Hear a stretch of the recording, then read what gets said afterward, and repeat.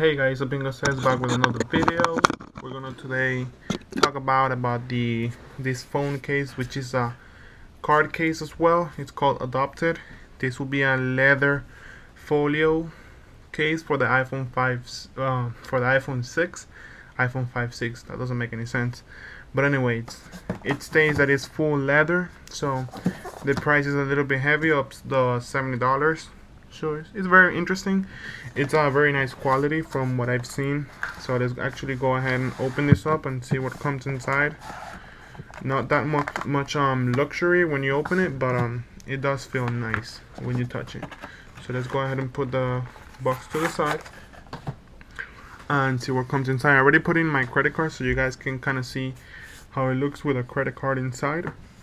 So that's basically has a little bit branding on the side let's actually go ahead and take this fake phone replacement. We have adopted there. I don't know if you guys can see it but maybe you can see it there there. You can see it there. Adopted right there so it feels very nice. It's a little bit flimsy uh, from what you can see but it does feel nice. From the other ones that I've tested out from Casemate this one's the better one and that says a lot so especially for the price you're expecting good quality premium um, case. But um there you go. So I only have one credit card and that's how it looks when you put it face down. So it doesn't close all the way. I don't know why.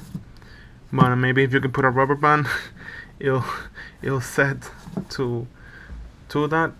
It doesn't make the phone heavy at all so we have the cutouts at the bottom. They're completely open not that much protection there on the side. Or fair protection not that bad. So it's the power button easily accessible. Cutout for the camera somewhat protected as far as the camera lens right there. And then nothing on top but it is open.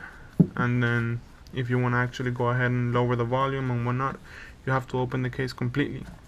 And one thing I don't like about these type of cases is that when you're gonna go ahead and take a picture you know you'll be displaying your credit card like that. So but that's just you know my rant.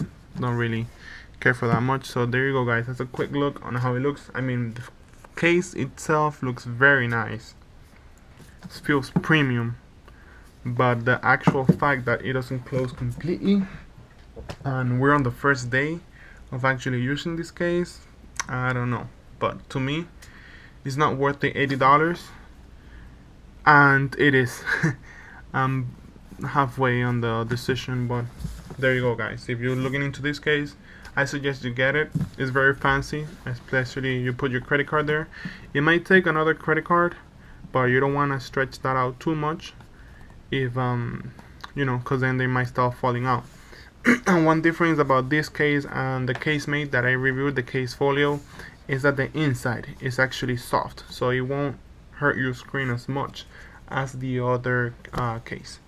So there you go guys. Quick look. I hope you enjoyed this video. If you have any questions about this case or any other videos that I'm showing let me know in the comments below. Later